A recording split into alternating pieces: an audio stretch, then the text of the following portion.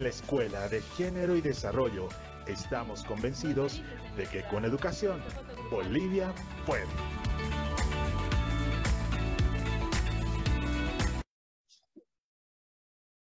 Muy buenas tardes a todos, bienvenidos a un nuevo taller de la Escuela de Género. Mi nombre es Daniela Cabrera Guillén, soy, la directora y quiero enviarles un cordial saludo desde Cochabamba, Bolivia y agradecerles a todos por ya estar conectados con nosotros.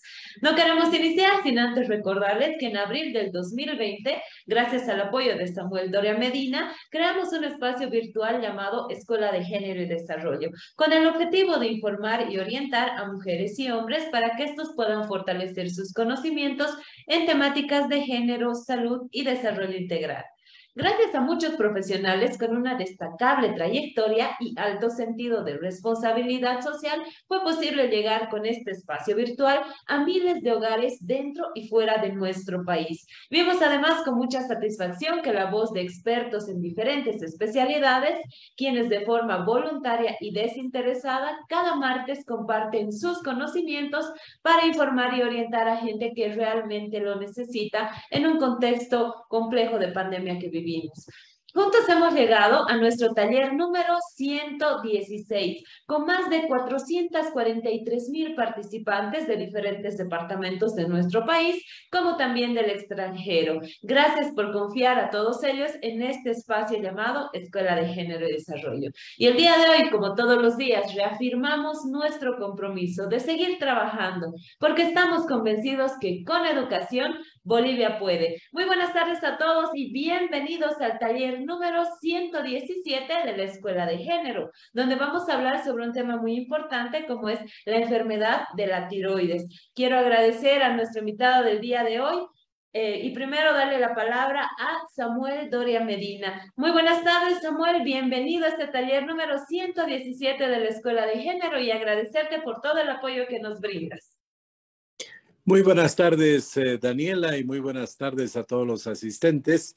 Eh, felicitarte por tu persistencia, eh, no fallas nunca. Eh, taller 116 es muy interesante y siempre hay un tema nuevo. va a ser muy interesante poder conocer el tema de la tiroides, sus funciones, sus problemas. creo que es muy, muy importante este tema. Yo quiero sugerirte un tema para una próxima eh, he estado viendo en varias ciudades del país que la gente eh, no se quiere sacar el barbijo.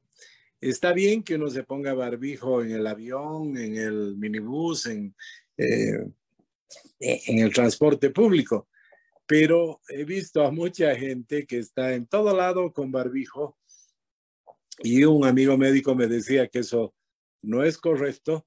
los médicos usan barbijo, pero cuando eh, tienen que usar, ¿no es verdad? Eh, dice que los que usan demasiado barbijo eh, tienen problemas en la piel, problemas de eczemas en, la cara y demás. Entonces, no hay que exagerar. Yo sé que así como ha sido difícil al principio hacer que la gente se acostumbre a usar el barbijo, ya la pandemia podemos ver cada día, son muy pocos casos aislados.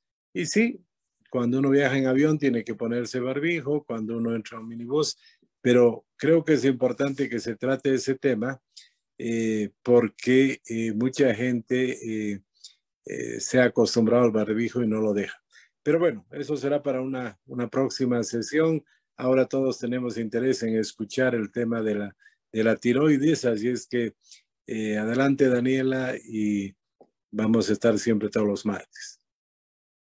Muchas gracias, Samuel, por estar presente en este taller, sobre todo por el apoyo que nos brindas para la realización de cada uno de los talleres, desde el taller número uno hasta hasta la fecha que estamos trabajando con el apoyo de Samuel Doria Medina y el compromiso está para tener 100 talleres más, así que vamos rumbo al taller número 200, Samuel. Por otro lado, te agradecemos por, por esta sugerencia. Hay mucha gente que también nos ha ido preguntando y sugiriendo este tema, así que vamos a contactarnos con un especialista sobre este tema para que él también pueda brindarnos esta información tan importante que tú nos mencionas el día de hoy. Así que iniciamos con nuestro taller, por favor. Eh, agradecerte por tu presencia y vamos a dar la bienvenida ahora a nuestra invitada del día de hoy. Ella es la doctora Karen Claros Espinosa. Ella es médica cirujana graduada de la Universidad Mayor de San Simón, eh, tiene una especialidad en medicina tropical de la Universidad Mayor de San Simón también, y, también cuenta con una especialidad en medicina interna de la misma universidad.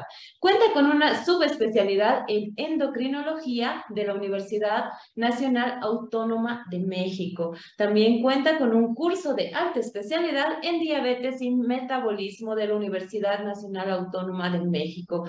Es docente de la materia de endocrinología en la Universidad UPAL y también en la Universidad UDABOL Trabajó en la Caja Nacional de Salud y en el Hospital Univalle del Norte en el departamento de Cochabamba. Asimismo, es miembro de la Sociedad Boliviana de Endocrinología, Metabolismo y Nutrición en nuestro país. Queremos agradecer la presencia de la doctora Karen Claros, que ha aceptado nuestra invitación de manera voluntaria. La tenemos el día de hoy para que nos pueda hablar sobre este tema tan importante como es la tiroides. Así que vamos a tener, como es habitual, 45 minutos de exposición de nuestra invitada de lujo del día de hoy y 45 minutos para que todos ustedes puedan realizar sus consultas. Así que iniciamos, por favor.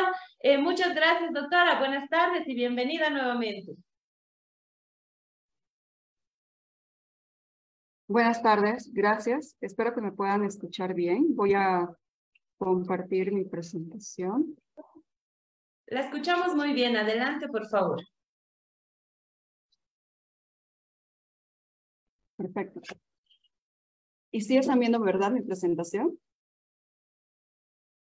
Sí, doctora, podemos ver su presentación. Excelente. Muy bien, a menudo, pues tanto los pacientes como los médicos, pues se encuentran ahí como en la disyuntiva de preguntarse si el problema, si el paciente estará con algún problema de función de la tiroides. El objetivo de esta plática es brindarles algunas herramientas para sospechar y tratar de llegar a un diagnóstico en relación a las enfermedades más frecuentes de la tiroides. La tiroides es un órgano que se encuentra en el cuello, en la parte anterior del cuello, por delante de la tráquea y de un cartílago que se llama cartílago tiroides. Es una glándula en realidad muy chiquita, mide más o menos como un centímetro por un centímetro y medio en el, en el sentido longitudinal más grande, cada lóbulo mide como 2, 3 centímetros.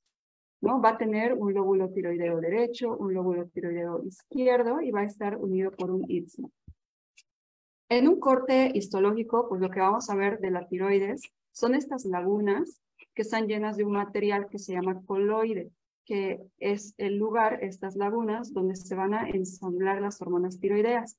Las lagunas de coloides van a estar rodeadas por estas células foliculares, que son las que se encargan tanto de hacer ingresar el yodo como de producir una proteína que se llama tiroglobulina para que se formen esas hormonas tiroideas. Esas hormonas tiroideas van a tener como nombre T3 y T4, eh, reflejando el número 3, el hecho de que tiene tres moléculas de yodo, y T4 porque tiene cuatro moléculas de yodo. Entonces, esto lo que nos refleja es la importancia estructural que va a tener el yodo en la formación de esas hormonas tiroideas. El yodo en sí, pues el cuerpo no lo va a producir, sino que necesitamos ingerirlo a través de los alimentos, considerándose uh, pues el requerimiento en niños en edad preescolar de 90 microgramos al día, en niños en edad escolar de 120 microgramos al día, en adolescentes y adultos fuera del embarazo 150 microgramos al día y en mujeres embarazadas o en periodo de lactancia de 250 microgramos al día. Este yodo, pues, ¿de dónde lo vamos a obtener? Decíamos que necesariamente vamos a tener que ingerir. Los productos que mayor cantidad de yodo tienen son los lácteos, como el queso, la leche, que el queso entre 46 y 150 microgramos de yodo por cada 100 gramos de queso, la leche entre, entre 29 y 34 microgramos, el huevo entre 34 y 117, el yogur entre 32 y 51, siendo las frutas, los vegetales y las carnes pues malos, uh, malos productos para darnos este yodo que necesitamos. Entonces, frutas, verduras uh, y carnes no nos van a proporcionar yodo y quizá el único producto que tiene un alto contenido de yodo es el alga nori, que es este tipo de algas, que realmente no, no, se consumen en Bolivia, sino que se consumen principalmente en países uh, como Japón, que tiene 2.320 microgramos de yodo por cada 100 gramos. Entonces, pues nosotros en general vamos a necesitar una fuente suplementaria de yodo, como es la sal yodada. La sal que no está yodada, pues tiene un contenido de yodo bastante bajo, menor a 50 microgramos por 100 miligramos de sal.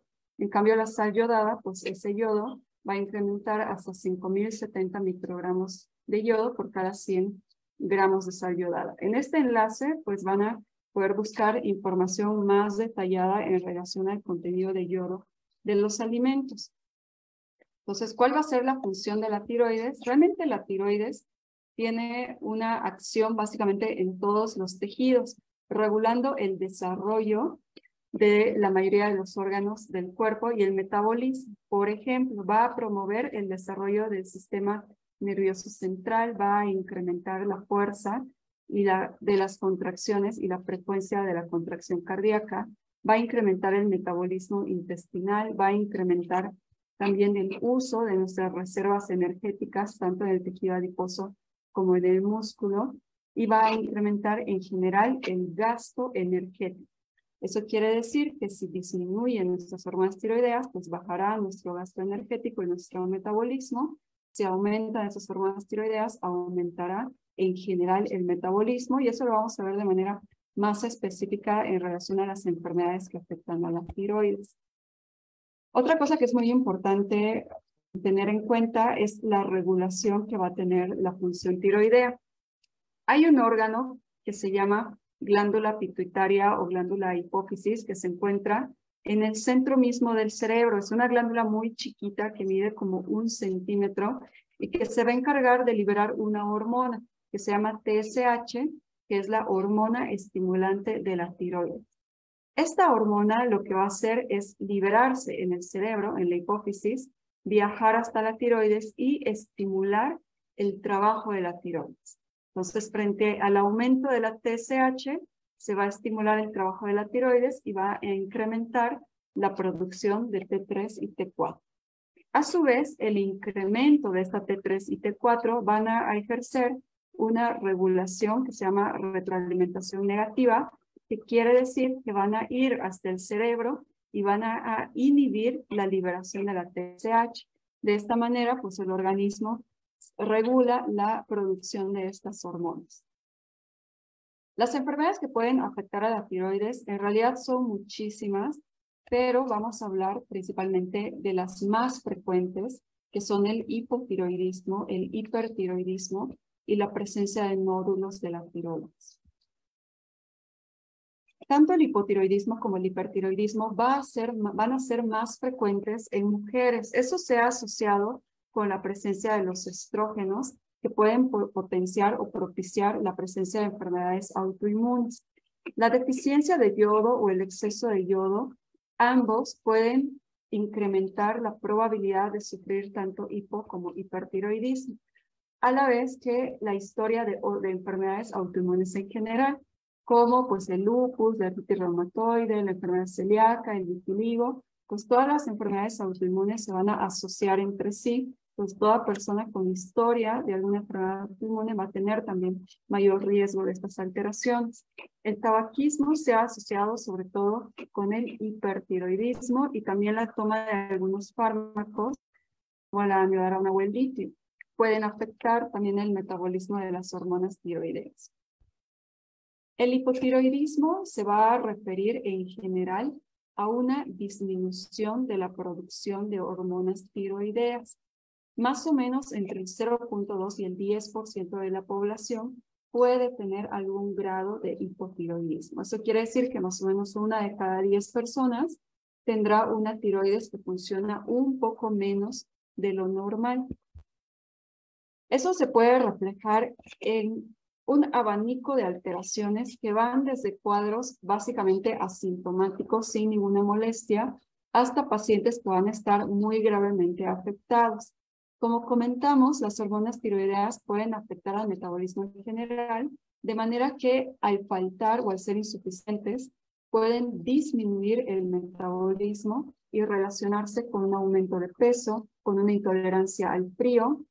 Eso quiere decir que el paciente siente más frío que otras personas, puede sentirse cansado, puede tener alteraciones de la voz, como tener una voz como muy profunda o muy grave, tener alteraciones de la audición, alteraciones de la visión, tener ah, dolor neuropático, dolor en las manos o en los pies, estreñimiento, que tenga como mucha sensación de distensión abdominal, puede también presentarse alteraciones de la fertilidad, por ejemplo, que haya mm, dificultad para el embarazo o que haya un mayor riesgo de abortos espontáneos o de partos pretérminos, puede haber calambres musculares, dolor muscular, dolor articular, puede haber presencia de piel seca, de pérdida de cabello, pero esto lo vamos a ver, o sea, sobre todo en cuadros muy severos. Digamos que clásicamente en la literatura se ha descrito el hipotiroidismo en estos casos muy severos,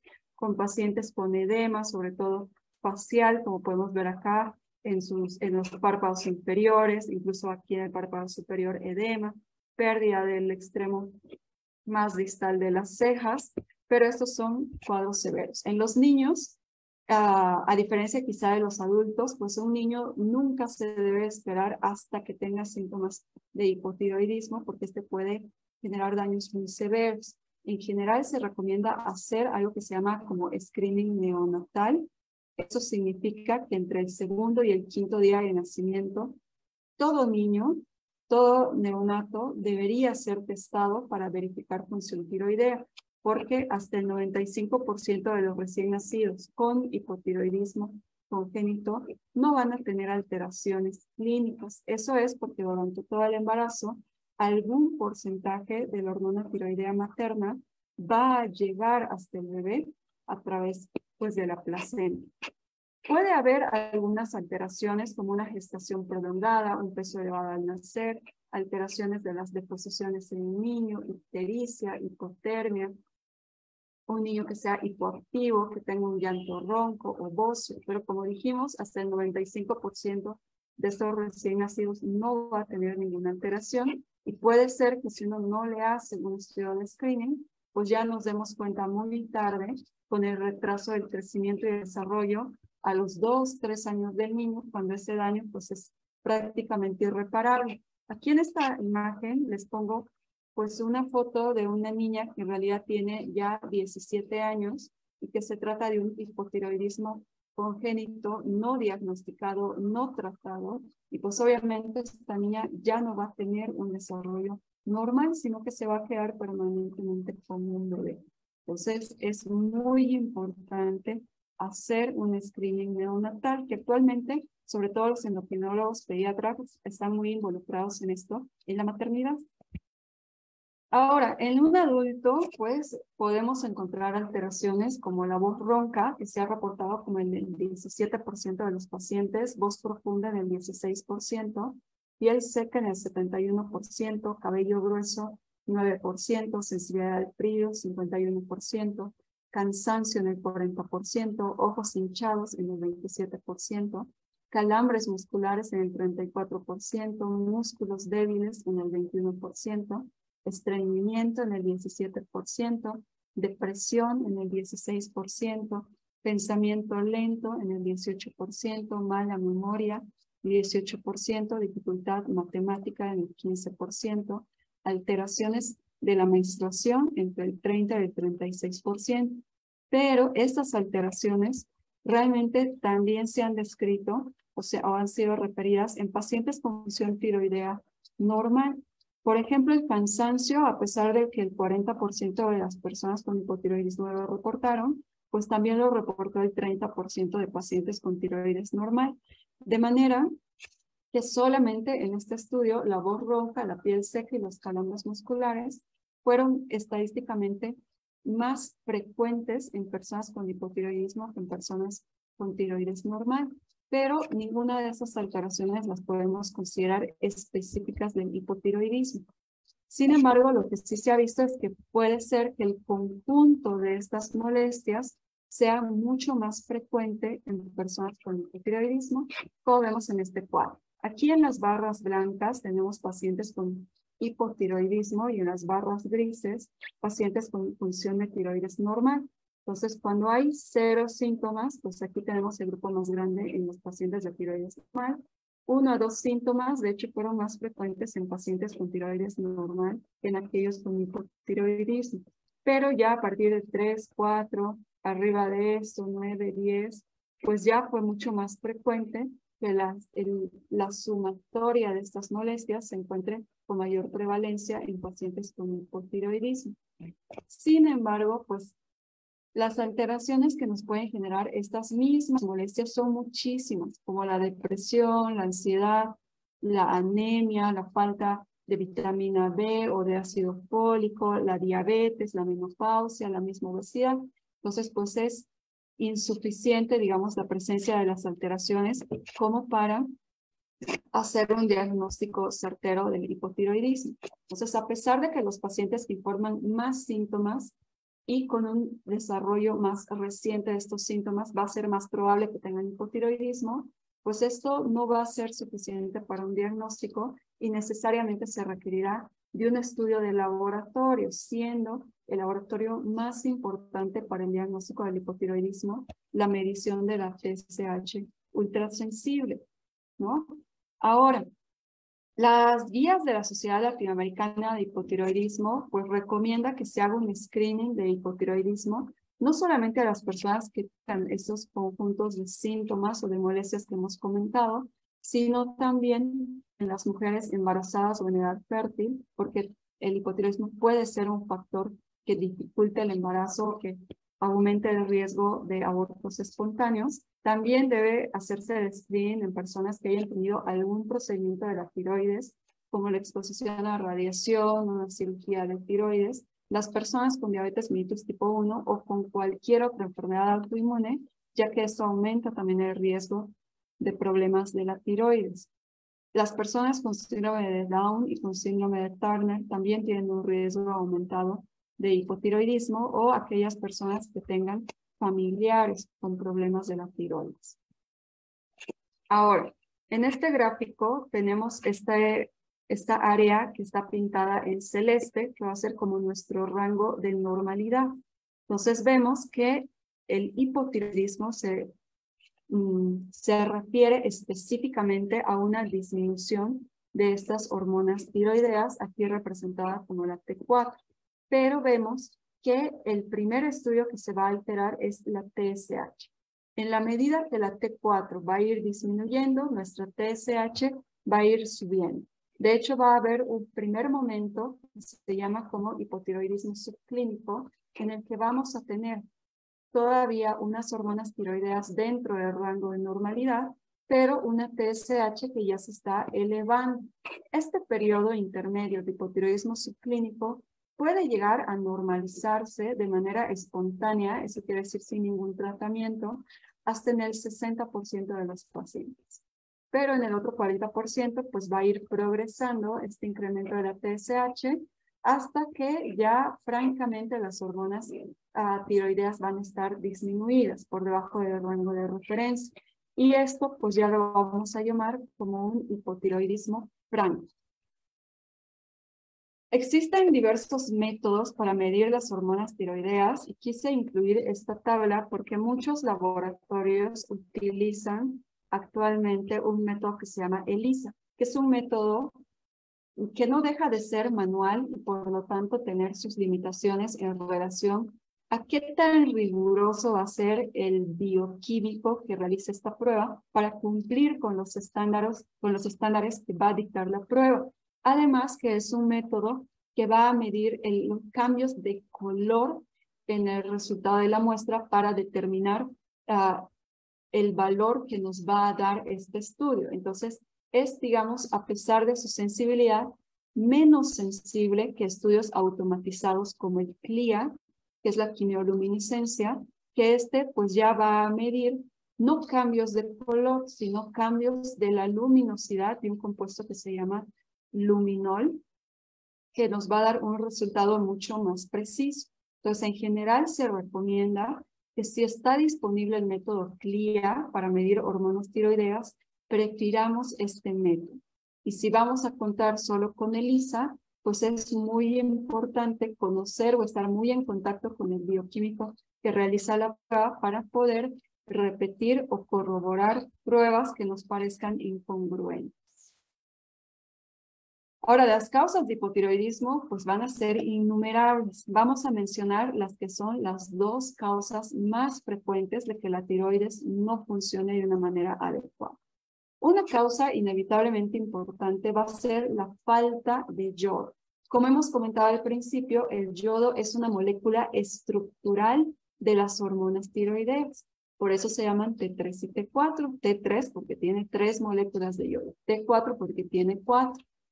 Si no tenemos suficiente aporte de yodo, pues no va a haber manera de que nuestra tiroides produzca una cantidad normal de hormonas tiroideas.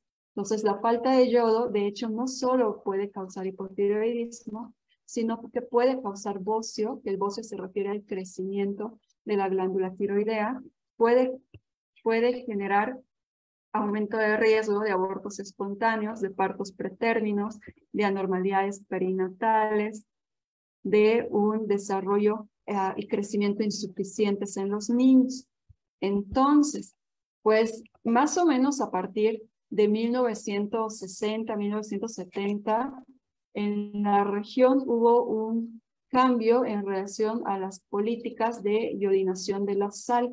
En Bolivia, puntualmente, pues se puso en práctica a partir de 1977 con una regulación que indica que el yodo debe tener entre 40 y 80 partes por millón eh, en la sal, ¿no? Ahora, en este estudio ah, que publican en 2015 en relación a la presencia de bocio endémico, vemos que en los países que primero se puso la regulación y se puso en práctica la yodación de la sal, como Argentina, Colombia y Guatemala, pues en una comparación de periodos de, de 10 años de seguimiento, de búsqueda de estos casos, hubo una disminución bastante significativa del bocio. Pero quiero puntualizar que más o menos entre 1950 y 1960, el 68% de la población en Bolivia tenía bocio, tenía un incremento de tamaño de la tiroides. Estas personas, pues que han estado expuestas a yodo, a falta de yodo, obviamente muchas van a seguir vivas y van a ser nuestros pacientitos pues de 70, de 80, de 90 años y que es muy probable que vayan a tener un bocio por este periodo de la vida que tuvieron falta de sal. El último estudio que tenemos publicado de la iodación de sal en Bolivia es ya de 2008, o sea, hace más de, de, de casi 20 años, ¿no? En el que en este estudio pues había el 89% de las sales que tenían una cantidad de sodio de al menos 15 partes por millón, lo que podríamos decir que era pues lo mínimo adecuado que establecía la OMS, pero no tenemos datos publicados más recientes después de 2008. Y en relación a la suficiencia de yodo en las personas, eso se mide a través de la cantidad de yodo en la orina, considerándose insuficiente por debajo de 100 microgramos por litro, pues la última publicación la tenemos en 2005, en la que la insuficiencia de yodo era solamente del 17.7% de la población, pero no tenemos publicaciones de ah, datos más recientes. A partir del 2005, de hecho, la OMS sugiere que cada país eleve sus propios informes sobre la situación de deficiencia de yodo cada tres años.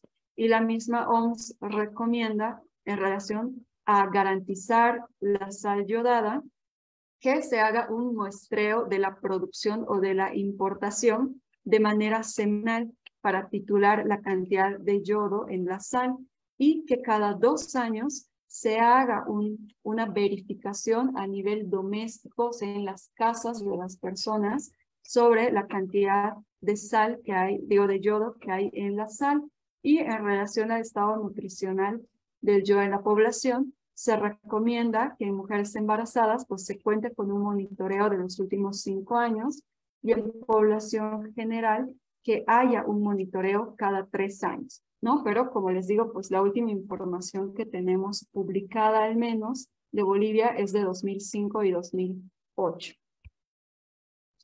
En zonas donde hay suficiente yodo, la causa más frecuente de este hipotiroidismo pues ya no va a ser la falta de yodo, sino que va a ser una enfermedad de origen autoinmune que se llama tiroiditis de Hashimoto. Esta tiroiditis de Hashimoto se refiere a una inflamación de la tiroides que está causada porque nuestro propio sistema inmune ataca la tiroides y produce una inflamación y destrucción de la tiroides. Esta presencia de autoinmunidad la podemos identificar a través de diversos estudios. Por ejemplo, podemos medir los propios anticuerpos que produce el, organismo, siendo el más frecuente ese anticuerpo que se llama anticuerpo anti-TPO o anticuerpos contra la peroxidasa tiroidea, que es una enzima muy importante para la formación de hormonas tiroideas. Y también se puede encontrar otra, otro anticuerpo contra la tiroglobulina, que la tiroglobulina pues, es un componente estructural de las hormonas tiroideas. También podemos evidenciar esta inflamación en una biopsia ah, con la presencia de linfocitos de células inflamatorias en la tiroides o en la ecografía a través de datos ecográficos de inflamación, como vemos acá. Entonces, si se acuerdan, dijimos que la tiroides normal va a estar constituida por estas lagunas de coloide rodeadas por células foliculares. En cambio, una tiroiditis de Hashimoto, pues ya no vamos a ver esas estructuras, sino que vamos a ver una inflamación con pues grandes cantidades de células inflamatorias como son los linfocitos que se ven acá. Y en la ecografía, pues en una ecografía normal veríamos la tiroides, esta es la tráquea, este es el lóbulo tiroideo derecho, el lóbulo tiroideo izquierdo unidos por un istmo, que lo normal es que se vea así blanquito como lo vemos acá, siempre más blanco, más hiperecogénico que los músculos uh, pretiroideos, que se ven siempre más oscuros. En cambio, pues en esta imagen de una tiroiditis, vemos que se encuentra con áreas más blancas, áreas más oscuras, que son los datos de inflamación de la tiroides, que además está aumentada de tamaño. Muy bien, ahora, puede ser muy complejo pensar en el abordaje del hipotiroidismo. Yo lo que les diría es que frente a un paciente que tiene estos síntomas sugerentes de hipotiroidismo, el escenario más frecuente va a ser encontrar una TSH elevada y una T4 libre que esté disminuida. En ese caso vamos a hablar de un hipotiroidismo franco que va a requerir un tratamiento de reemplazo con hormonas tiroideas, de las cuales actualmente en Bolivia está disponible solamente la levotiroxina como Eutirox o como T4. En cualquier otro escenario de, laboratorios que sean discordantes, yo recomendaría altamente una valoración de endocrinología porque hay que valorar otros aspectos como los métodos que se utilizan en el laboratorio o las interacciones con otros medicamentos o con otras enfermedades.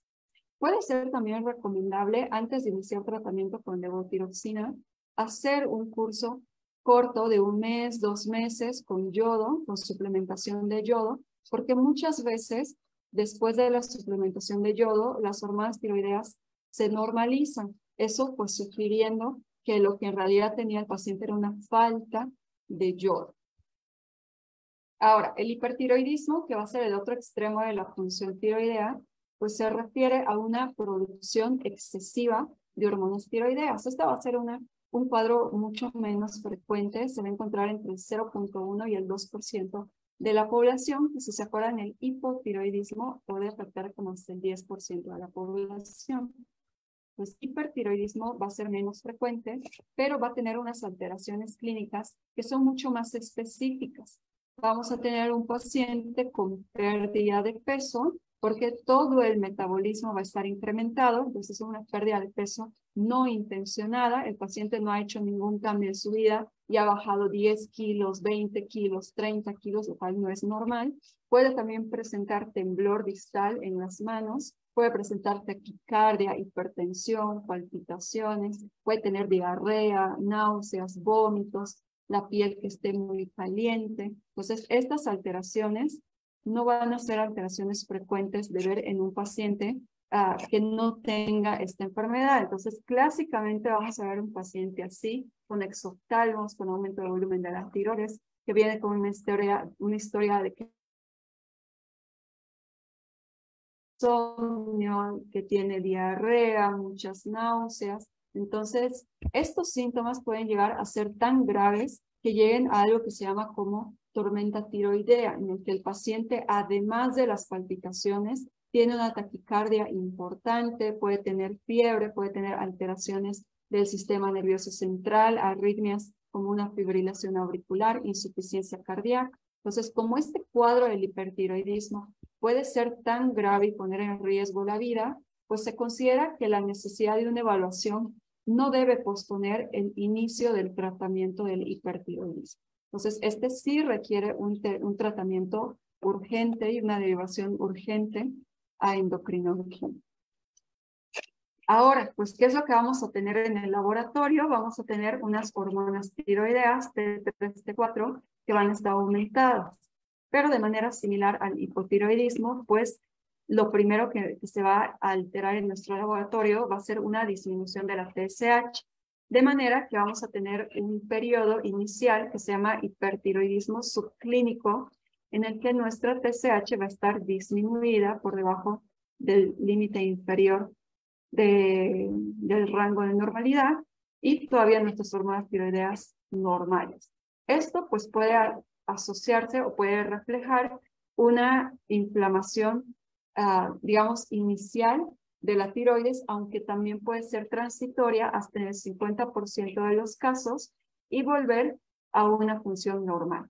Pero en el resto de los pacientes, pues va a seguir incrementándose hasta llegar a lo que llamamos como hipertiroidismo franco, en el que las hormonas tiroideas están elevadas y nuestra TSH muy disminuida.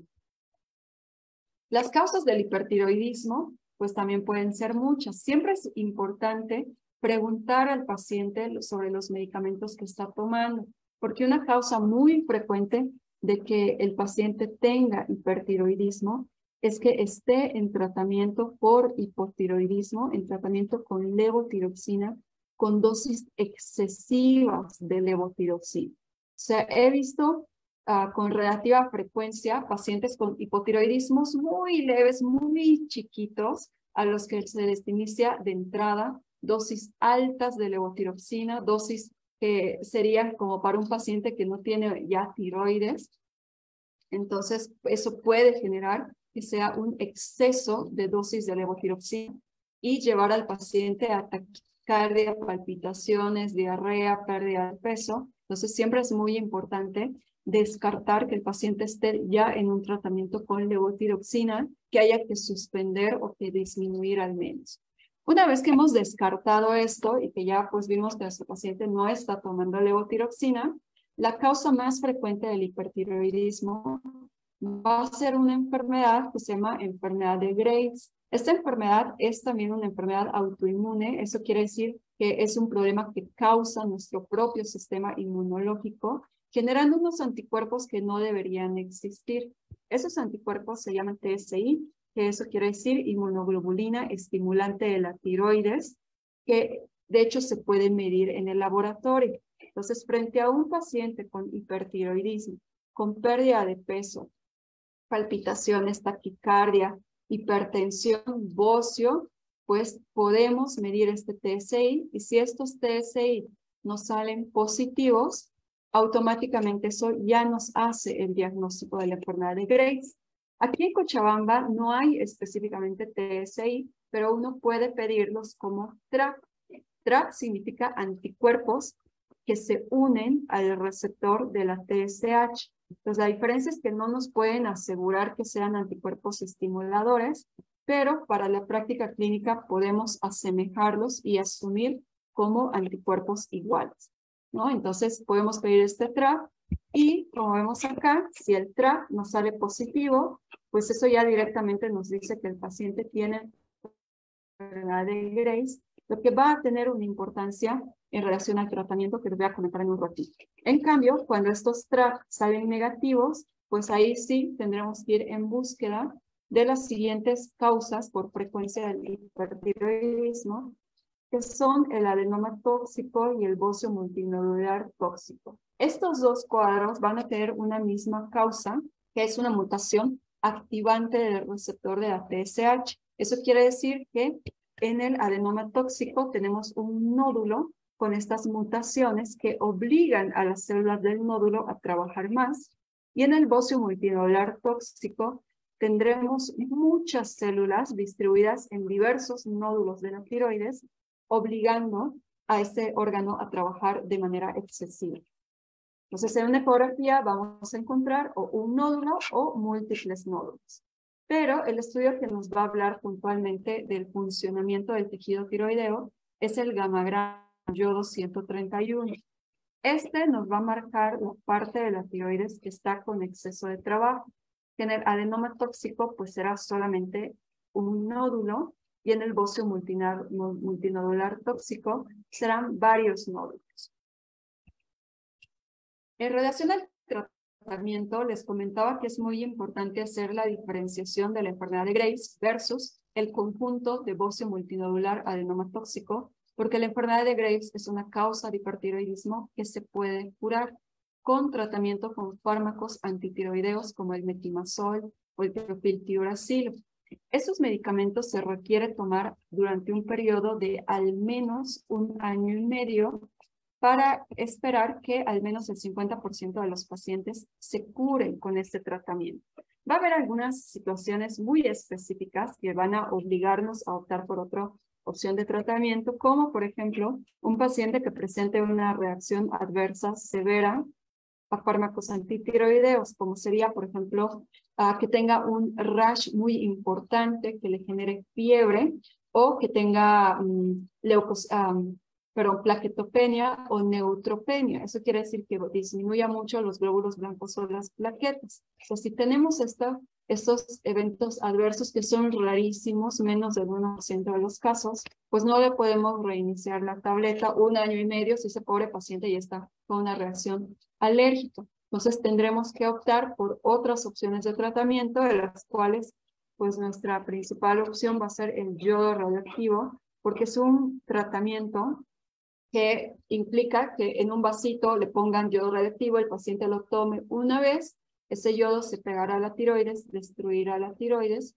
y pues ya nuestro paciente no va a tener hipertiroidismo, pero va a quedar con hipotiroidismo.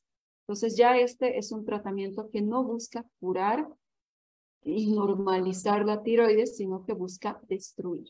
Y pues optaremos por la cirugía solo en dos casos. En caso de que haya a sospecha de malignidad, por ejemplo, que haya un nódulo, que se biopsie ese nódulo y que salga cáncer. En este caso, pues optaremos por la cirugía o en caso de que el paciente tenga alguna otra enfermedad, como el hiperparatiroidismo primario, que ya requiera cirugía, entonces, pues ya se hará la cirugía para los dos en el mismo evento. Pero fuera de estos casos, pues en general optamos mínimamente por hacer un año y medio de, de danantisol esperando pues la curación del paciente. En cambio, en el bocio multinodular y en el adenoma tóxico, pues estos no se van a curar porque no hay manera de curarle una mutación a las células. Entonces, en estos casos, nuestra, nuestra opción más frecuente de tratamiento es ir directamente al yodo radioactivo, excepto en algunas circunstancias que contraindican el yodo, como son el embarazo, la malignidad, o sea, una vez más que haya cáncer en la tiroides, o que el paciente ya tenga una indicación de cirugía como el hiperparatiroidismo. Entonces, puntualmente en esos casos optaremos por una cirugía de tiroides. ¿Por qué la cirugía es nuestra tercera opción en todo esto? Pues por los riesgos que hay, riesgos de daño al nervio laringio recurrente y que el paciente pues quede con disfonía o con afonía, o riesgos en las glándulas paratiroideas, que son las que regulan el calcio y que genera que el paciente pues quede necesitando 10, 20, 30 tabletas de calcio cada día toda la vida, ¿no? Entonces, pues son como riesgos mm, que solo se justifican si el paciente tiene demostrado un cáncer de tiroides. Y eso nos lleva pues a nuestra tercera patología más frecuente de la tiroides, que es el nódulo tiroideo. Un nódulo tiroideo va a ser una lesión delimitada dentro de la glándula tiroidea, que se va a diferenciar claramente en los estudios de imagen.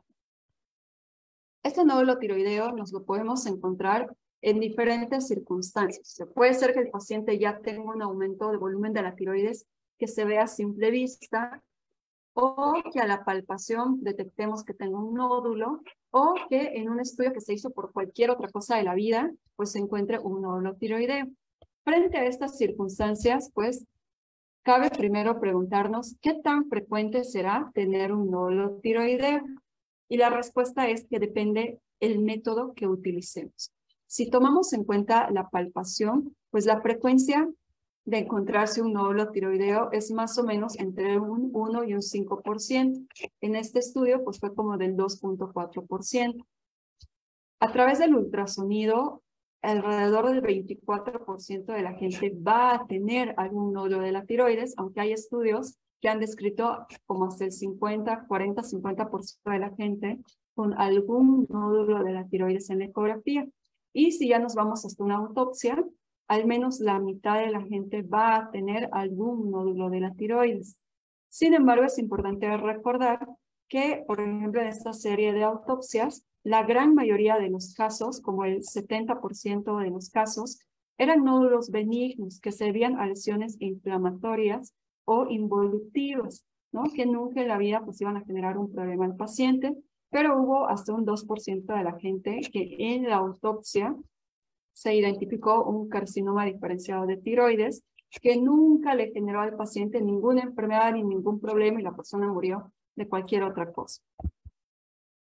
Esta prevalencia de los nódulos tiroideos también va a ser diferente en hombres y en mujeres y va a ser diferente de acuerdo con la edad, de manera que va a ser más frecuente mientras más años uno tenga y en cualquier etapa de la edad siempre va a ser más frecuente en las mujeres que en los hombres.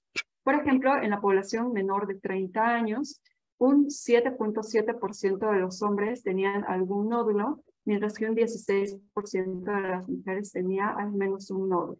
Y en el otro extremo, pues en los pacientes de más de 70 años, un 44% de los hombres tenía algún nódulo tiroideo y casi el 70% de las mujeres tenía algún nódulo. Entonces podemos recordarlo como que las mujeres mayores de 70 años, un 70% tiene algún nódulo, ya comienza a ser raro no tener algún nódulo. Entonces los nódulos tiroideos son muy frecuentes de encontrarse y la prevalencia va a depender del método que utilicemos y de la población a la que estemos estudiando. Ahora, ¿por qué se forman estos nódulos tiroideos? Pues va a responder también a, varias, a varios mecanismos. De los más frecuentes es que haya hiperplasia de algún nódulo, eso quiere decir que va a haber algún estímulo, como el incremento de la TSH, que va a hacer que vaya uh, creciendo un tejido, porque la TSH es también un factor estimulante del crecimiento de la tiroides. Puede haber también una acumulación de coloide, que es como una gelatina, como la gelatina de la que se forman las hormonas tiroideas, y a veces ese coloide es como muy espeso, y ya las células foliculares no lo pueden tomar, entonces se queda ahí como atrapada esta gelatina que nunca va a ser nada mal. Puede suceder también que un nódulo hiperplástico sufra algo que se llama como degeneración quística, eso quiere decir que como el centro del nódulo se comienza a morir y formar estos nódulos quísticos, puede haber una inflamación general de la tiroides, que se llama tiroiditis, que parezca como nódulos, pero que en realidad es la pura inflamación, o puede, puede suceder que hayan algunas mutaciones de genes responsables del desarrollo tiroideo, como BRAF, ah, y que den origen a una neoplasia, propiamente un cáncer. Entonces, los nódulos tiroideos pueden formarse a través de diversos mecanismos que en su mayoría van a ser mecanismos de evolución benigna. El primer estudio que nos va a permitir evaluar un nódulo va a ser la ecografía. Esa es una ecografía normal en la que tenemos los lóbulos tiroideos, el derecho, el izquierdo, unidos por el istmo, siempre bien blanquitos y homogéneos. Entonces, frente a la presencia de un nódulo, tendremos que evaluar diversas características como la forma, el tamaño, la ecogenicidad, la regularidad de los bordes, la presencia de microcalcificaciones. Entonces, eso lo podemos clasificar en esta tabla de riesgo de malignidad. De esta tabla solo quiero que recuerden dos grupos. El grupo que está aquí más abajo, que es el grupo totalmente benigno, en el que vamos a ver solo un quiste lleno de coloide, que se ve totalmente negro, ni siquiera hay un tejido acá, es solamente líquido coloide bien delimitadito. totalmente homogéneo, este siempre va a ser benigno y no requiere en general ningún tratamiento, a menos de que sea un nódulo grande que requiera drenar. Pero nada malo va a pasar con esto, no. En el otro extremo de la malignidad, pues vamos a tener nódulos llenos de estos puntitos blancos que sean microcalcificaciones, que se va a ver de bordes irregulares, como si se estuviera metiendo en el tejido normal de la tiroides, y que se va a ver más negro que el resto de la tiroides. Eso se llama hipoecogenicidad. Entonces, estos son los que tienen alto riesgo de malignidad, entre el 70 y el 90%. Y en medio vamos a tener un gran grupo heterogéneo, que lo vamos a llamar como de riesgo intermedio, en el que la probabilidad de que algo sea maligno está entre el 3 y el 20%. Eso quiere decir que entre el 80 y el 97% de estos nódulos van a ser benignos y nunca en la vida van a requerir ningún tratamiento. Entonces, ¿cómo podemos saber en qué grupo está nuestro paciente? Es a través de una biopsia. Ahora, de estos hallazgos entonces de la ecografía, los que más altamente van a sugerir malignidad va a ser la presencia de estas microcalcificaciones puntiformes y la hipoecogenicidad. La probabilidad de que nos encontremos en una ecografía cualquiera, un nódulo maligno, es baja, es como del 6%. ¿Eso quiere decir? Que lo más probable que vamos a ver en una ecografía van a ser nódulos benignos. Entonces es muy importante manejar todo esto con mucha calma, porque muchas veces el paciente viene muy angustiado con estos nódulos de que le dijeron que si no hace algo rápido se va a hacer cáncer y que algo grave le va a pasar. Y no es así. La gran mayoría de los pacientes, al menos el 70% de los nódulos que vamos a ver, van a ser totalmente benignos. Un 20% quedará en grupo intermedio, requiriendo algún estudio complementario, y solo un 6% va a ser maligno. Entonces dijimos que nuestro estudio que nos va a permitir delimitar qué pacientes van a cirugía es una biopsia. Esa biopsia se llama PAP, función aspiración con aguja fina, que básicamente, así para recordar en general, hay que solicitar una FAP en todo nódulo mayor a un centímetro. Yo, de hecho, estoy acreditada por la Asociación Americana de Endocrinología Clínica para la realización de ecografías tiroideas y de procedimientos mínimamente invasivos de la tiroides. Esta FAP se realiza necesariamente bajo guía ecográfica para que uno pueda valorar dónde está haciendo la función. Y de hecho les comparto este caso de una paciente que vimos recientemente, una mujer de 42 años que refería aumento de volumen en el cuello desde hace más o menos un año. No refería enfermedades crónicas previas y solamente la historia de la madre con gastritis. No estaba con ningún tratamiento en ese momento y pues sí se palpaba un aumento de volumen en el lóbulo tiroideo derecho de más o menos 4 centímetros, sin datos clínicos de hipo o hipertiroidismo en ese momento. Se le realizó un laboratorio donde se evidenció que la función tiroidea era normal y se propuso a la paciente realizar una PAP y un procedimiento que se llama ablación con alcohol absoluto, porque era un nódulo que era muy visible. Este procedimiento pues nos permitió hacer dos cosas. Uno, pues hacer un estudio citológico en el que se descarta que haya algo maligno para que el paciente y el médico se puedan quedar tranquilos de que nada malo va a pasar de que es un nódulo benigno, como ocurre en el 90% de los nódulos. Y la segunda cosa que nos permitió este procedimiento fue aplicar este medicamento que se llama alcohol absoluto y permitir que este nódulo, que estaba bastante grande, de 4 centímetros, quedara como una cicatriz mínima en la tiroides, ¿no? Entonces, pues se pudo evitar en esta paciente una cirugía en cesárea en un paciente que tiene una función tiroidea absolutamente normal y un nódulo tiroideo que era absolutamente benigno. Entonces, solamente está indicada una cirugía si el resultado de la FAP nos sale como sospechoso de malignidad o maligno. En esos casos, pues el paciente irá a cirugía. En todos los demás casos, ese paciente irá a seguimiento. Entonces, la importancia de evaluar un nódulo tiroideo sí es identificar a pacientes que tengan neoplasias tiroideas, pero es sobre todo evitar un tratamiento excesivo e innecesario, ya que el 90% de los nódulos tiroideos van a ser benignos y no se van a beneficiar de un tratamiento quirúrgico. Bueno, quedo entonces a su disposición para las preguntas que tengan. Queremos agradecer a nuestra invitada del día de hoy, la doctora Karen Claros Espinosa, que nos ha podido brindar una amplia información acerca de esta enfermedad de la tiroides. Le agradecemos, doctora, y tenemos muchas preguntas para usted, así que vamos a iniciar, por favor, con la ronda de preguntas. Recordarles a todos ustedes que en la plataforma de Zoom número uno Vamos a pedir que a partir de este momento todos los que quieran hacer su consulta puedan levantar la mano a través del Zoom. En la sala número dos, les pedimos por favor a todos los que quieran realizar su consulta que nos envíen su pregunta a través del chat que ya está habilitado. Y a todos los que nos acompañan también en nuestra página de Facebook, les pedimos que nos dejen sus consultas en los comentarios de esta red social. Así que iniciamos, por favor, doctora. Eh, por favor, recordarles a todos que vamos a pedirles que sean muy concretos al momento de hacer su consulta. Vamos a ir uno por uno pregunta y respuesta de nuestra invitada del día de hoy. Iniciamos, por favor, doctora. Vamos a habilitar el micrófono de Sonia Rebollo Balda. Adelante, por favor, Sonia. Buenas noches. ¿Desde dónde nos acompaña? Buenas noches. Le hablo de La Paz, Bolivia. Em, a mí me diagnosticaron hipotiroidismo hace 20, como 20 años. Y, me y en un principio me dijeron que tenía un nódulo de unos 4 milímetros, pero después de unos años me hicieron una ecografía y me dijeron que se perdió el nódulo. ¿Puede ser mm. posible? Sí, de hecho sí. O sea, tengo varios pacientes que justo e, esa es la importancia de este tema del nódulo tiroideo, no preocuparse, no preocuparse demasiado. ¿no? La gran mayoría de los nódulos van a ser benignos, un nódulo solito puede disminuir, puede llegar a desaparecer, pero incluso si el nódulo aumenta de tamaño, eso no quiere decir necesariamente que sea maligno.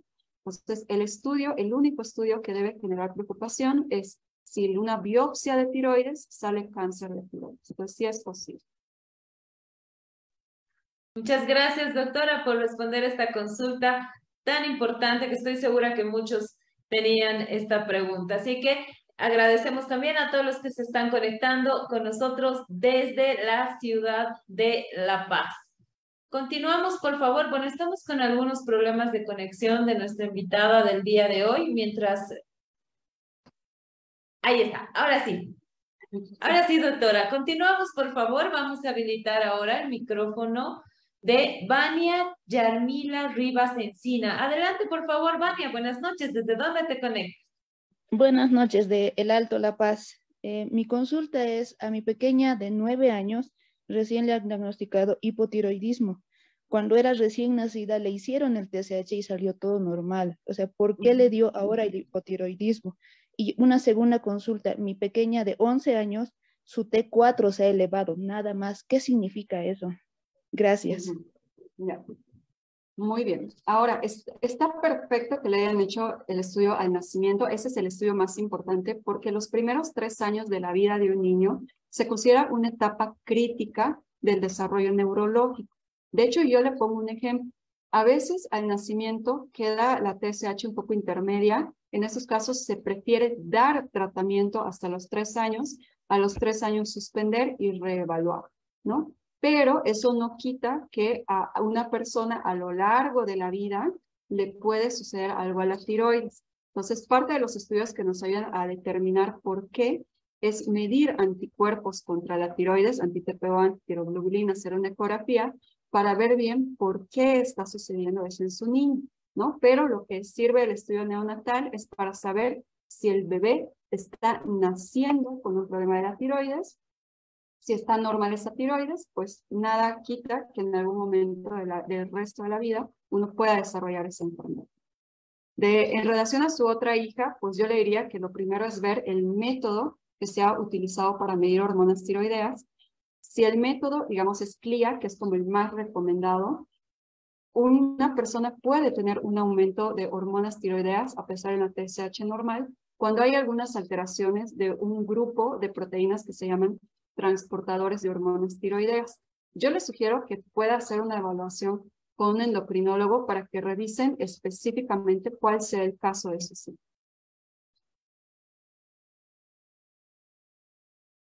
Muchas gracias, doctora, por responder esta pregunta y enviamos un saludo también a todos los que nos acompañan desde la ciudad del Alto. Continuamos, por favor, vamos a habilitar ahora el micrófono de Carla Lara Orellana. Adelante, por favor, Carla. Buenas noches. ¿Desde dónde se conecta? Eh, buenas noches, doctora, desde Cochabamba. Eh, mi consulta es la siguiente. A mí me han detectado hipertiroidismo y tengo también artritis reumática pero ahora estos últimos, eh, yo tomo danantisol, uno en, en ayunas y, y, en la noche, pero ahora me están doliendo los huesos más, ¿eso es normal? Y por favor también quisiera que nos dé su dirección o para poder consultar también con usted. Gracias. Buenas noches. Mm, buenas noches. Mm, algo que es muy importante en relación a justamente a lo que comenta es el tiempo desde el diagnóstico del hipertiroidismo. Mm, el hipertiroidismo puede causar muchísimas alteraciones muy severas. Una de ellas es que puede causar desequilibrios de unas sustancias de la sangre que se llaman electrolitos, particularmente del potasio. En algunas personas puede bajar tanto que tienen debilidad muscular y que incluso no pueden ni siquiera caminar. Puede ser muy severo. Habría que valorar si le han hecho esos estudios de potasio puntualmente o no. Pero usted tiene también otro problema añadido, que es este de artritis reumatoide,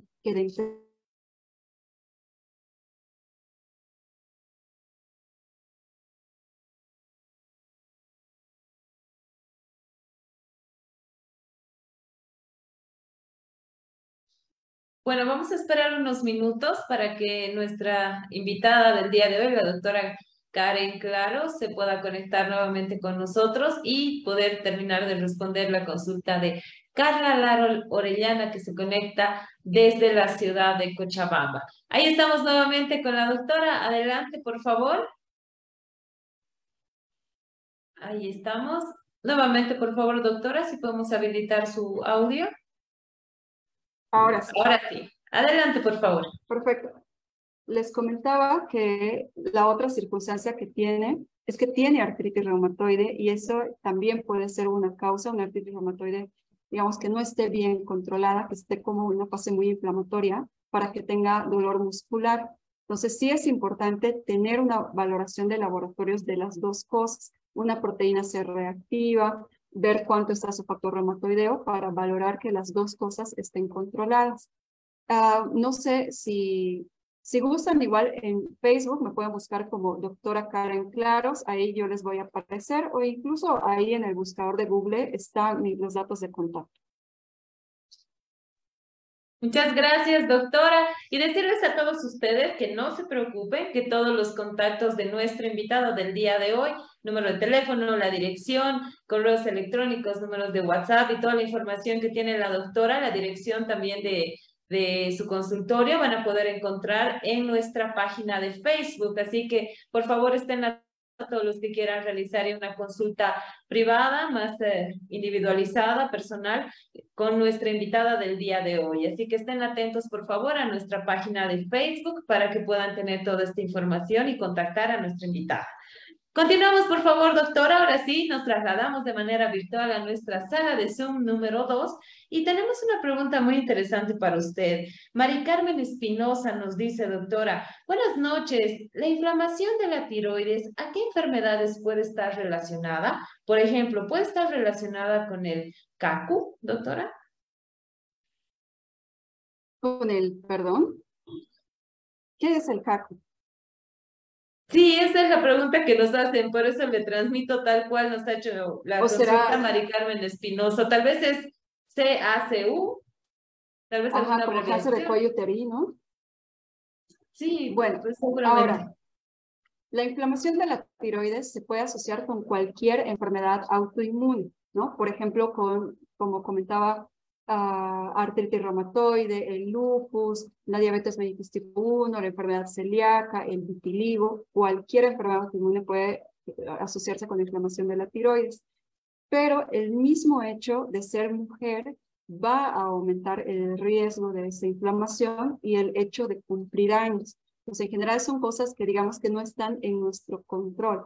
¿no? Ahora sí se ha visto una cierta asociación del cáncer de tiroides con cáncer de mama, pero no se sabe muy bien, o sea, si sea algo específico de esos tipos de cánceres o por el hecho de que son cánceres frecuentes, o sea, más frecuentes en mujeres, simplemente coincidan en un paciente, pero no se encontraba así algo puntual, puntual con cáncer. Muchas gracias, doctora, por responder esta consulta y ya nos ha sacado de dudas sobre esta abreviación del cáncer de cuello uterino. Muchísimas gracias. Continuamos, por favor. Vamos a transmitirle también la pregunta de Noa Nadia Lara y nos dice, doctora, buenas noches. ¿Qué es lo que ocurre cuando se ha extirpado casi el 80% de la tiroides? ¿Qué pasaría fisiológicamente a esa persona?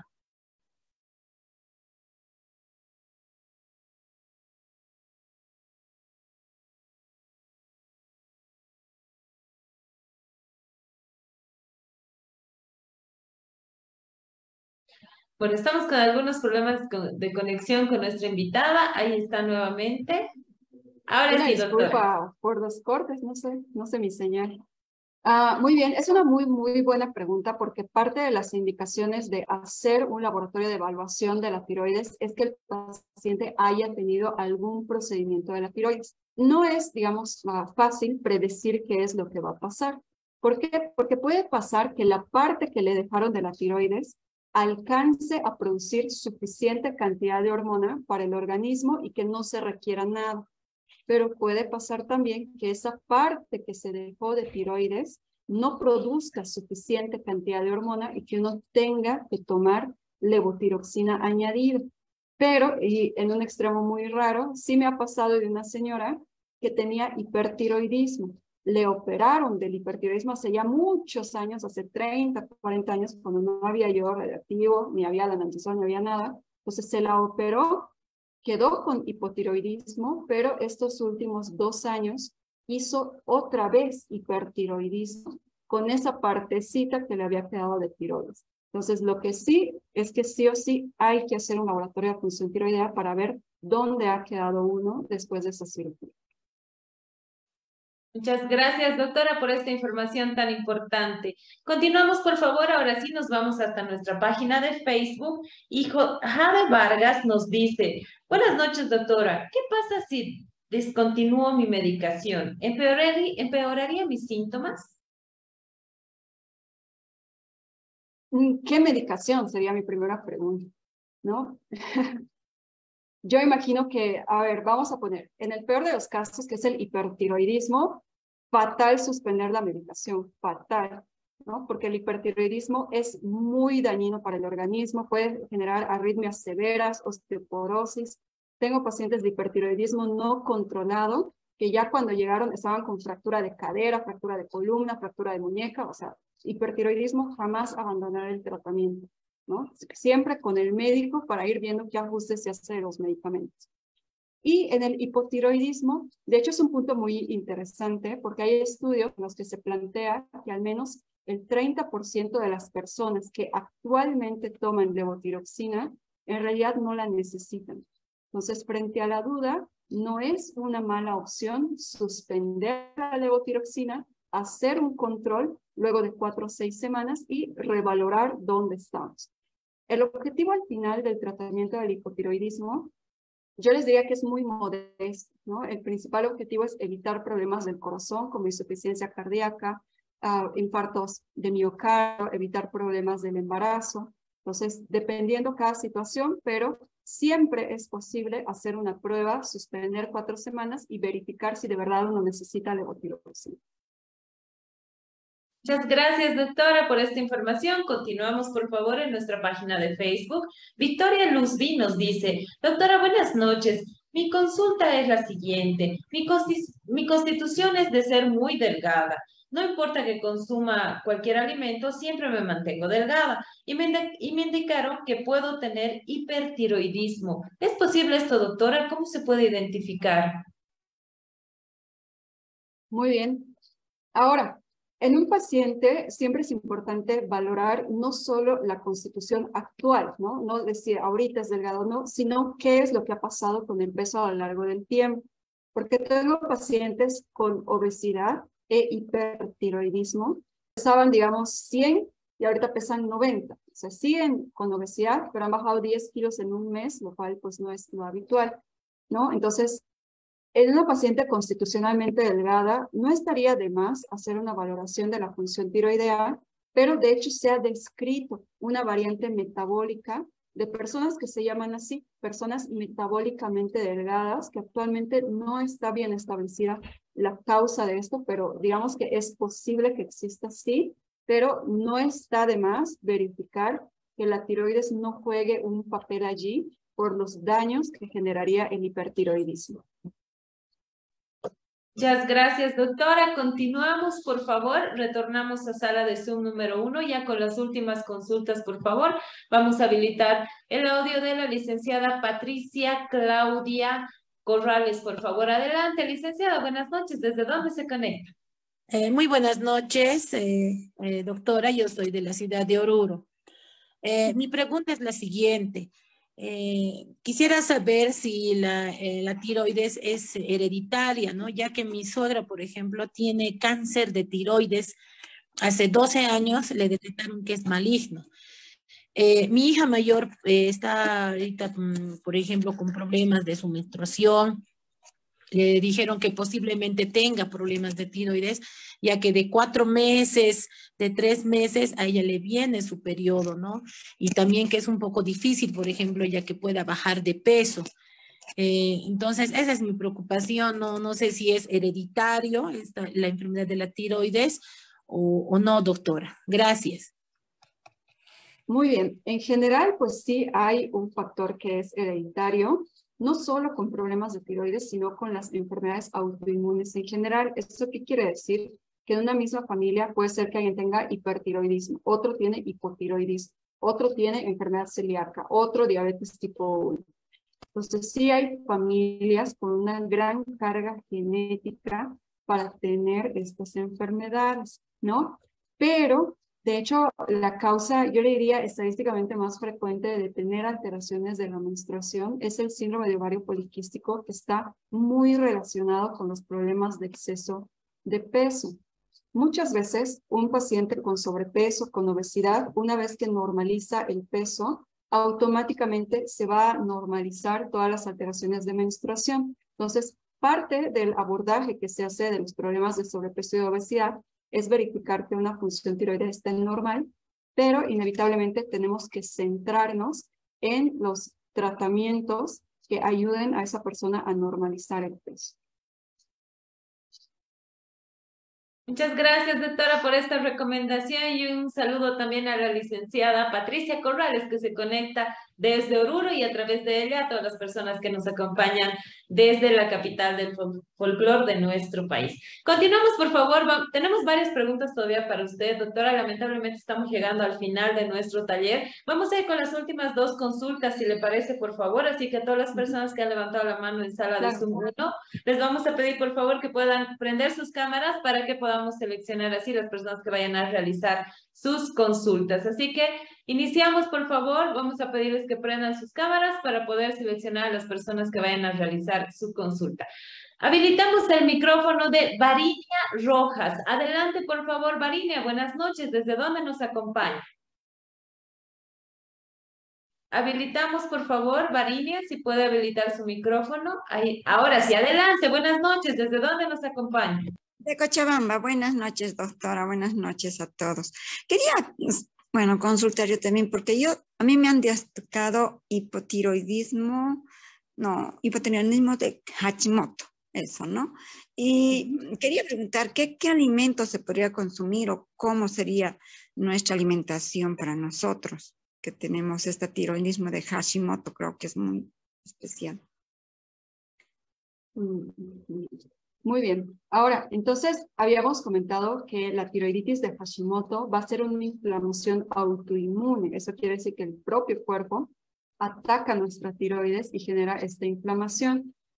En sí, no hay como una alimentación específica para la tiroiditis de Hashimoto, pero en general se recomienda evitar los, los alimentos que pueden generar más inflamación, como son los alimentos que son procesados, como las gaseosas, digamos, el pollo frito, las donas, la torta, o mientras más procesado y refinado es un producto, puede empeorar la inflamación. Lo recomendable es tratar de consumir productos que sean mucho más naturales, menos procesados, consumir muchas verduras, uh, clara de huevo, esos, esos productos van a ayudar a disminuir esa inflamación, ¿no? Pero el punto más grande de la enfermedad, que es una alteración de nuestra propia inmunidad, de atacar nosotros mismos a nuestro cuerpo, digamos que no es algo que se va a poder normalizar con la alimentación, pero sí puede contribuir una alimentación que sea más natural y más saludable.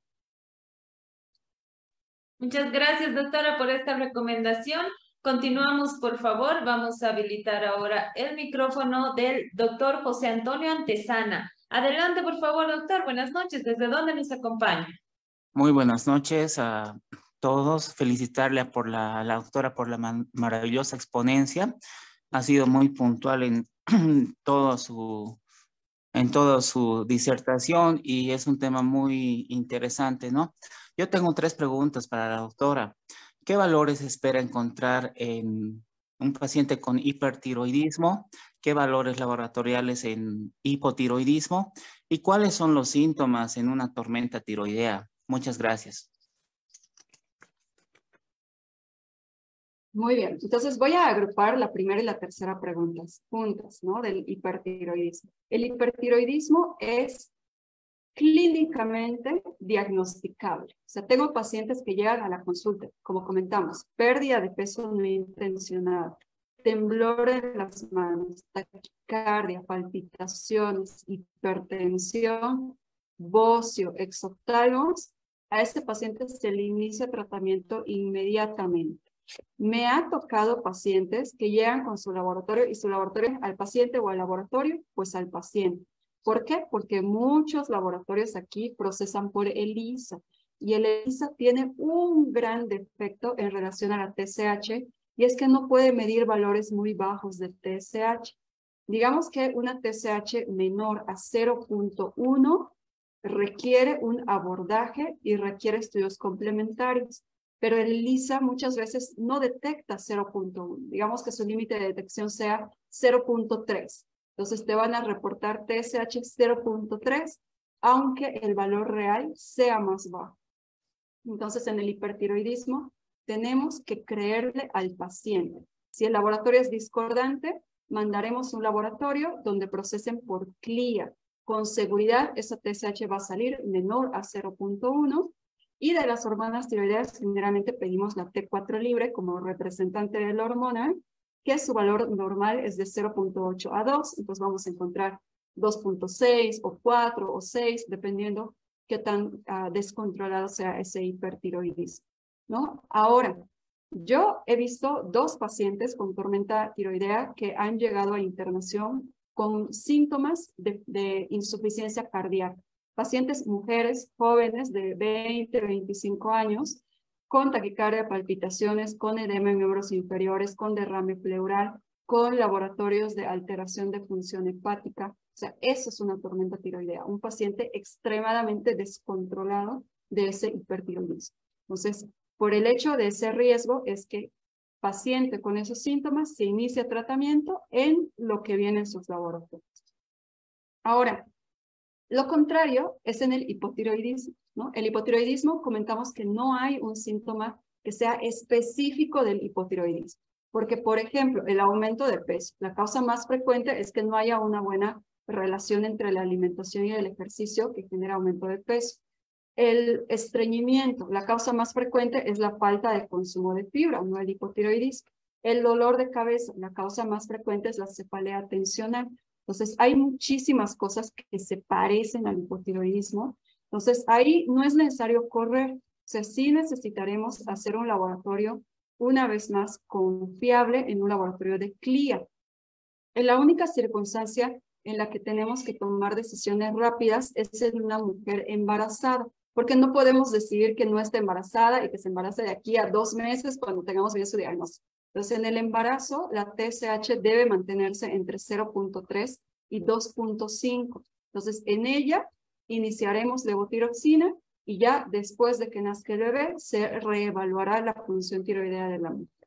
En el resto de los pacientes, Yo diría que no es una urgencia el diagnóstico del hipotiroidismo, entonces sí necesitamos estar seguros de que la TSH esté elevada, que eso quiere decir sobre todo que esté por encima de 10. ¿no? Una TSH normal es entre 0.5 y 4.5, pero a partir de 10 se ha visto que puede haber un aumento de riesgo de insuficiencia cardíaca, de infarto de miocardio. Entonces, si está en un rango intermedio, eso se llama hipotiroidismo subclínico, una TSH entre, entre 4.5 y 10, puede ser que se deba a una falta de yodo, entonces podremos optar por primero suplementar de yodo y revalorar esa función tiroidea. Queremos agradecer a la doctora Karen Claros que esta noche nos ha acompañado con esta excelente exposición. Nos disculpamos con todas las personas que todavía tienen su consulta pendiente. Lamentablemente ya hemos llegado al final de nuestro taller. Sin embargo, estoy segura que más adelante vamos a poder nuevamente conversar con la doctora Claros para que nos pueda también eh, responder todas las preguntas que han quedado pendientes. Si no es con el mismo tema, tal vez con otro tema. Así que le agradecemos mucho, doctora Karen Claros, por habernos acompañado esta noche, por haber aceptado nuestra invitación de manera voluntaria y compartir todos sus conocimientos con nosotros. Así que la esperamos nuevamente muy pronto en la Escuela de Género. Por favor, sus palabras de despedida y sus últimas recomendaciones. Gracias. Ha sido un gusto participar acá, un tema definitivamente amplio. He tratado de puntualizar aquellas cosas que, que me parecieron más relevantes y que les pueden ser más útiles. Entonces, pues cuando gusten, estoy aquí disponible para brindarles información sobre cualquier tema relacionado con endocrinología. Muchísimas gracias, doctora, a usted por haberse dado este tiempo para poder responder todas las preguntas de nuestros invitados. Aunque han quedado todavía muchos pendientes, estoy segura, como le decía, que más adelante vamos a poder conversar con usted. Muchísimas gracias. Y no se vaya todavía, por favor, le vamos a robar unos minutitos más. Queremos agradecer a todas las personas que se han conectado el día de hoy de todos los departamentos de nuestro país y estoy segura que también nos acompañan del exterior. El día de hoy, en nuestro taller número 117, hemos sido más de 3.300 personas que se han, se han inscrito y se han conectado, han participado con nosotros, así que les agradecemos por confiar en este espacio que es desarrollado con mucho cariño y mucho compromiso para mejorar la salud de todos nosotros. Estoy segura que toda esta información va a ser difundida a familiares, amigos, para que también puedan conocer todos estos datos acerca de esta enfermedad de la tiroides y así también puedan cuidar su salud. Así que les agradecemos a todos ellos por estar conectados en esta noche. Agradecer obviamente el apoyo de Samuel Doria Medina para la realización de cada uno de los talleres. Y recuerden a todos, por favor, que eh, los talleres de la Escuela de Género son los días martes a partir de las 18.30. No se olviden que es importante que ustedes sigan los pasos para poder registrarse, participar y posterior a ello recibir su certificado de manera gratuita que será enviado en las siguientes 72 horas. Certificado de participación gratuito. Así que no se olviden, por favor, primero registrarse en los formularios, participar de los talleres y posterior a ello se les va a enviar su eh, certificado de participación a través del link a los grupos de WhatsApp y también va a ser publicado en nuestras redes sociales. Así que estén atentos, por favor. Y para todos aquellos que eh, nos preguntaban acerca de los contactos de la doctora Karen Claros, como les habíamos mencionado, vamos a tener toda la información de nuestra invitada del día de hoy en nuestras redes sociales y también el link de su página para que ustedes la puedan seguir y puedan ver todas las recomendaciones y los consejos que ella brinda a a través de sus redes sociales y si ustedes quieren contactarse con ella ya de manera presencial, también les vamos a dejar los contactos para que puedan reservar la cita correspondiente. Nuevamente decirles que nuestros talleres son los días martes a partir de las 18.30 y este martes 25 de octubre en el taller número 118 de la Escuela de Género vamos a hablar sobre un tema muy importante que se da en diferentes épocas, ya sea por el viento, porque hace mucha calor. Vamos a hablar sobre conjuntivitis. Vamos a conocer qué es la conjuntivitis, cuáles son sus causas, los síntomas, cuál es el tratamiento adecuado y sobre todo cómo prevenir esta enfermedad que ataca normalmente a los ojos. Así que están todos cordialmente invitados a acompañarnos este martes 25 de octubre a partir de las 18.30 para poder hablar sobre este tema tan importante como es la conjuntivitis. Tenemos un invitado de lujo también con una gran trayectoria para este día martes, así que los esperamos conectados. También eh, recordarles a todos ustedes que tenemos nuestras redes sociales ya habilitadas para todos ustedes. Por ejemplo, tenemos nuestra página web. Estoy seguro que todos ustedes ya son parte de ella. Y si no todavía, entonces les pedimos que se puedan registrar. Es www escueladegénero.org, donde ustedes van a poder encontrar mucha información y si se suscriben también a ella, les va a poder llegar información exclusiva que nos dejan nuestros expositores. Por otro lado, también les pedimos que nos puedan acompañar en nuestras redes sociales, en nuestra página de Facebook y también en el Instagram. Estamos como Escuela de Género y Desarrollo, donde ustedes van a poder encontrar mucha información, contactos de nuestros invitados, también recomendaciones que ellos nos brindan y mucha información también que estoy segura que les va a ser de mucha utilidad a todos ustedes. Además tenemos ahí el link para que ustedes se puedan registrar para cada uno de los talleres. Y si ustedes quieren volver a ver alguno de los 117 talleres de la Escuela de Género, tenemos habilitado también nuestro canal de YouTube. Estamos como Escuela de Género y Desarrollo. Ustedes van a poder encontrar todos los videos de los diferentes talleres y por favor les pedimos también que puedan compartir estos videos y puedan seguirnos también en nuestro canal para que mucha más gente pueda conocer esta información que brindan nuestros especialistas en la Escuela de Género y Desarrollo. Y si ustedes solamente quieren escuchar los audios de los talleres, también tenemos habilitado nuestro podcast en la, página, en la plataforma de Spotify, donde ustedes van a poder escuchar los audios de cada uno de los talleres. Y también ya tenemos habilitada esta red social que está de moda, como es el TikTok, con recomendaciones para que todos ustedes también puedan compartirlas y también se puedan suscribir a nuestra cuenta de TikTok.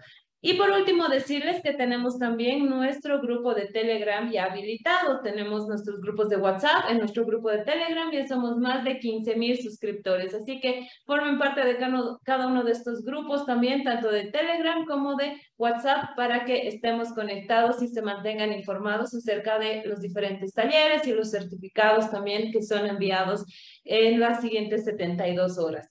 Así que les agradecemos mucho por haber participado en este taller número 117 de las más de 3.300 personas que se han conectado el día de hoy para aprender un poquito más acerca de la enfermedad de la tiroides.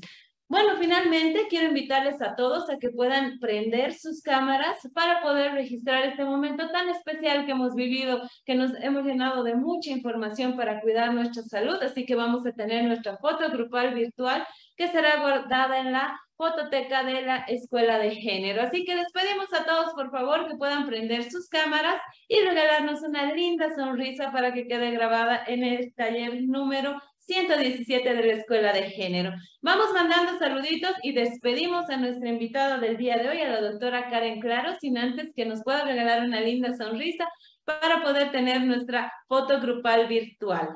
Ahí estamos con nuestra invitada, le agradecemos por su presencia y la esperamos nuevamente en un siguiente taller. Que Dios la bendiga, muchísimas gracias, muy buenas noches. Vamos mandando saluditos, por favor. Saluda de David Chile, que nos está saludando. Varinea Rojas también. Ruda Yaviri, que nos acompaña desde Quillacollo. Saludos a Lisette Noelia Rollano. La siguiente vamos a, poder tener su pregunta también, Lizeth. Nos disculpamos por ello, estamos muy cortos de tiempo. Saludos a Gary David Tapia, a Tania Paza, Carmelín, Carmelín Aguirre también que nos acompaña.